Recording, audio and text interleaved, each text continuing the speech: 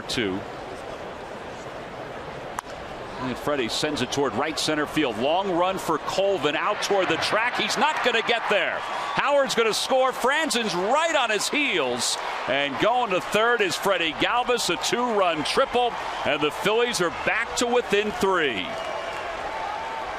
Well, there was no doubt that Frandsen read that ball better than Howard did because he was running right up the back of his spikes. Well, you make a real good point. A lot of times, if you're not reading it like that, may not even be able to score.